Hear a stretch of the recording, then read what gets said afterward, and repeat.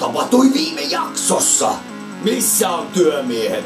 Onko asunto valmis? Heitinkö rahani hukkaan?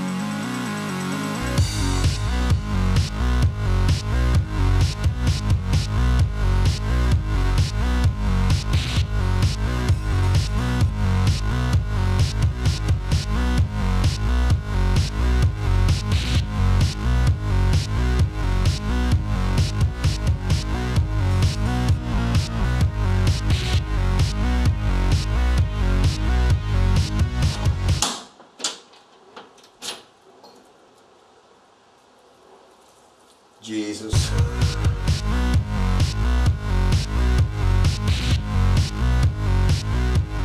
Tämä on tässä. Oma koti. 34 tonnia. 44. Ei unelma, vaan todellisuutta. Nyt ei huolet vain.